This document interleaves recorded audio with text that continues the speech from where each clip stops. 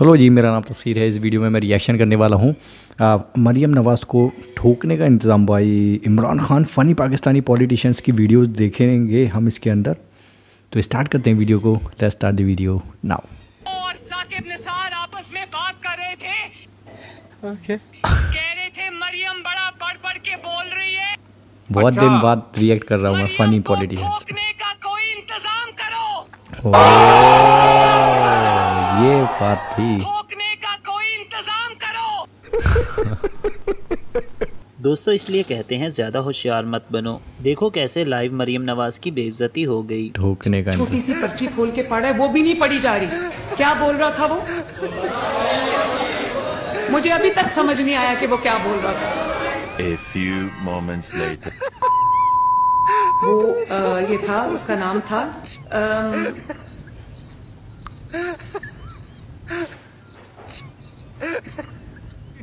अबे जल्दी बोल कल सुबह पनवेल मैडम सायरा बानो को देख लें जो किस तरह असम्बली में पीडीएम की मंजी ठोक रही हैं। गले सड़े फलों से कोई फ्रूट चाट नहीं बनाता। इन्होंने हुकूमत बना दी। वैसे पाकिस्तानियों आपको सबसे ज़्यादा गला सड़ा कौन लगता है? कमेंट ज़रूर कीजिएगा।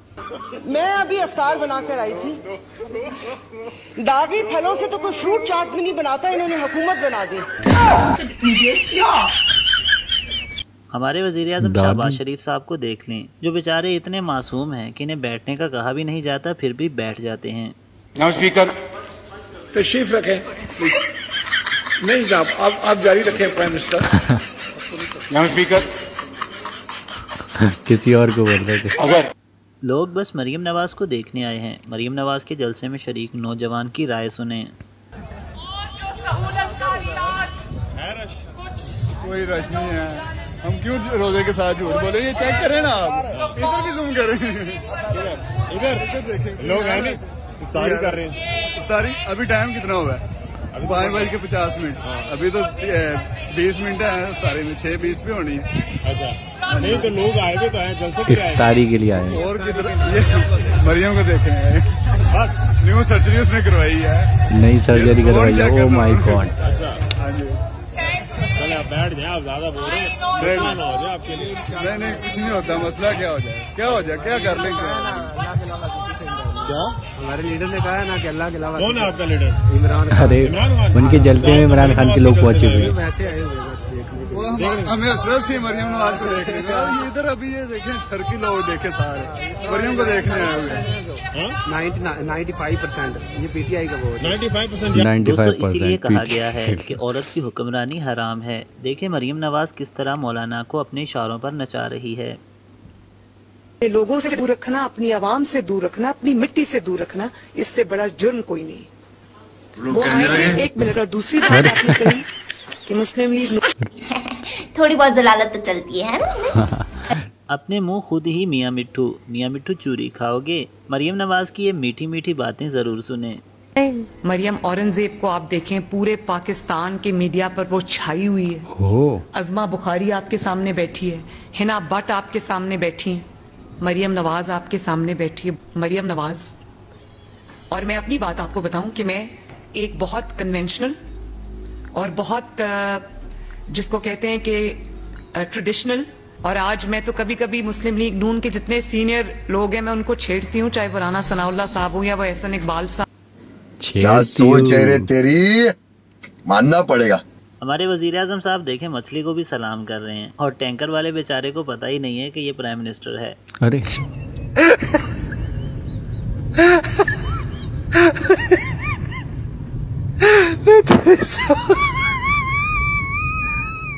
ले जी अब नौबत यहाँ तक आ गई है। सियासत में मुख्तलिफ़ नमूनों को पाकिस्तान चलाते हुए देखकर इस फकीर के दिल में भी ये तमन्ना जाग उठी कि ये भी पाकिस्तान को चला सकता है।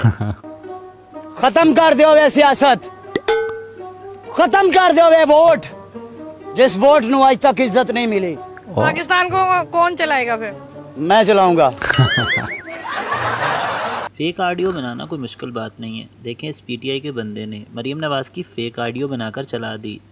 इमरान खान की जो फेक ऑडियो लीक हुई है उस पर सारे पटवारी कह रहे हैं कि इतनी आसानी से फेक ऑडियो बन जाती है तो आप भी नून लीग वालों की फेक ऑडियो बना के अपलोड कर दें। उनके लिए ये फेक ऑडियो है। सुनिएगा और पूरी सुनिएगा और एंजॉय किए कीजिएगा। मैंने भी बड़ी एंजॉय की।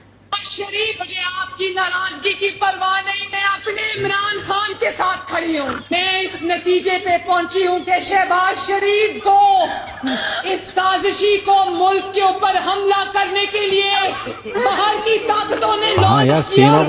फंड करके वो भी पैसे देकर जो इसको इसराइल ने और बाकी मुल्क के दुश्मनों ने इसको जो पैसे दिए वो इस डीजल को हलवा पूरी खाने के लिए दिए। बिल्कुल यार। पैसे शहबाज शरीफ को इसलिए मिले हैं वो करने के लिए मिले हैं ऐसी ऑडियो बनाओ। वो उसको उस आग लगाने के लिए मिले हैं जो आग वो पाकिस्तान में लगा रहा है। शहबाज शरीफ की शक्ल बहुत चलेगी ऑडियो। उनको पता है कि पैसों के लिए ये कुछ भी करेगा। किसी से भी लेगा और इससे जो पाकिस्तान में करवाना है। वज़ीर अजम शहबाज शरीफ साहब की ये दुआ भी सुन लें। अल्लाह ताला हमारी आसानियाँ दूर करे। तोबा अस्तगफिरुल्लाह। बड़े मुश्किल मुकदमे में फंसे हुए हैं। अल्लाह ताला हम सब की आसानियाँ दूर करे लेकिन कौम के साथ मुश्किलें दूर न करे आसानियाँ दूर शहबाज शरीफ की इसी बात पे सायरा बानो के कमेंट्स भी चेक करें। और तर्स भी आ रहा था। कि उन्होंने एक बात की कि अल्लाह पाक हमारी आसानियाँ दूर करे। पीछे बैठे हुए पे पटवारी नहीं समझिएगा पंखे फ़ैन। उन्होंने कहा आमीन। सुना ही नहीं कि अल्लाह पाक आसानियाँ दूर करे। और दूसरा आपने साले मोहम्मद को बोला तशरीफ़ रखे पीएम साहब बैठ गए। तो कितने मासूम हैं। मैं अभी अवतार बनाकर आई थी। दागी फलों से तो कोई फ्रूट चाट भी नहीं बनाता इन्होंने हुकूमत बना दी। राणा सनाउल्ला को देख ले ज़िंदगी में पहली दफ़ा सच बोल रहा है। मुस्लिम लीग नून सियासी जमात नहीं। ये मफाद परस्त और इब्नुल वक्त लोगों का गिरोह है। मुस्लिम लीग नून ना एक सियासी जमात है ना इसको हमने सियासी जमात तस्लीम किया। ये एक इब्नुल वक्त लोगों का ग्रोह था ये एक मुफाद परस्तों का ग्रोह था ये एक लोटा लीग इमरान खान पर नशा का इल्ज़ाम लगाने वाली बेगम सफदर और इसके ख़ानदान का ब्लड टेस्ट करें। बेगम सफदर स्टील के बड़े गिलास में कौन सा नशा आवर मशरूब लेकर फिरती हैं? फयाजुल हसन चौहान ने सब कुछ बता दिया। बड़ी इंपॉर्टेंट डिस्क्लोज करने लगा हूँ। पूरे electronic media social media print media और पब्लिक के अंदर एक चीज़ बड़ी सस्पिशियस है कि यार बेगम सफदर ये हाथ में गिलास स्टील का क्यों पकड़ के रखती है? ये इमरान खान के ऊपर लख के लिए लकी। नारकोटिक्स का जो है वो इल्ज़ाम लगाते हैं आज मैं इस प्रेस कॉन्फ्रेंस के ज़रिए से बताना चाहूँगा कि वो स्टील का गिलास बुनियादी तौर पर जो है वो एक नशा आवर चीज़ को जो है वो पीने का एक प्रोसेस है। नशा आवर चीज़ों को पीने का एक मैकेनिज्म है।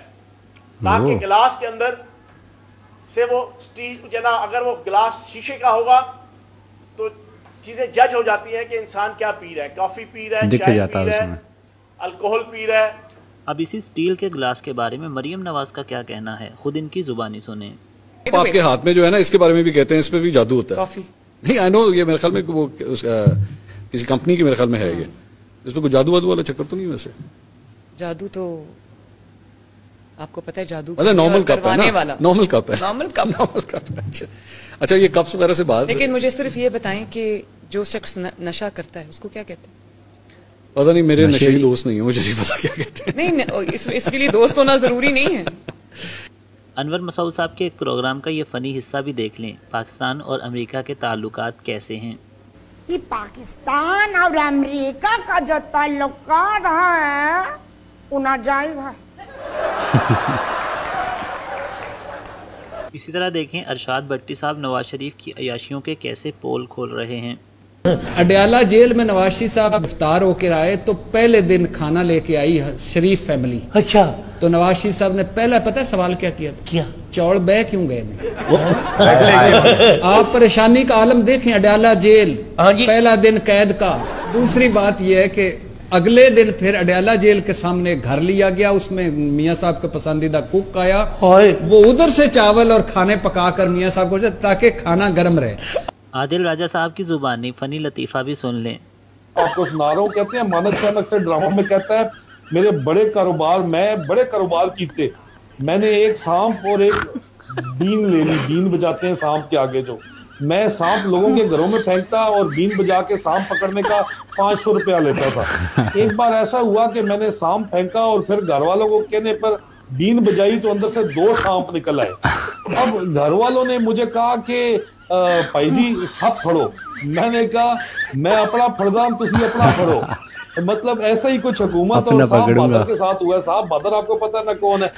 जो बड़े चाचू हैं उनके बारे में बात हो रही है। अच्छा हमारे चाचू के साथ भी कुछ इसी तरह हुआ है और उनके जो उनके से पहले जो चाचू थे उनके साथ भी कुछ इसी तरह हुआ है। तय तो ये हुआ था कि साहब बादर इमरान खान को संभालेंगे और हुकूमत मीशत को संभालेगी। अब कोई खुदा की ऐसी हुई है कि ना साहब बादर इमरान को पकड़ सके और ना हुकूमत मीशत को।